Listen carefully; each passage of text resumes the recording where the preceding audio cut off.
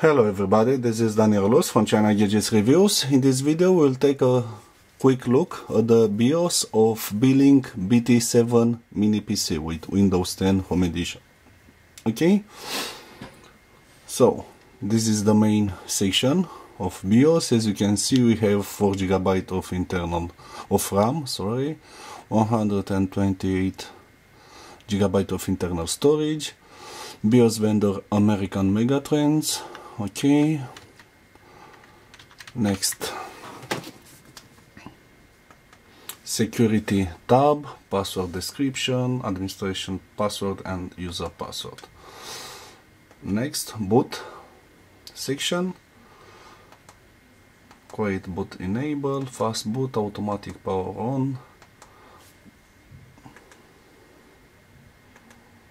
Okay save and exit. So just a few options here.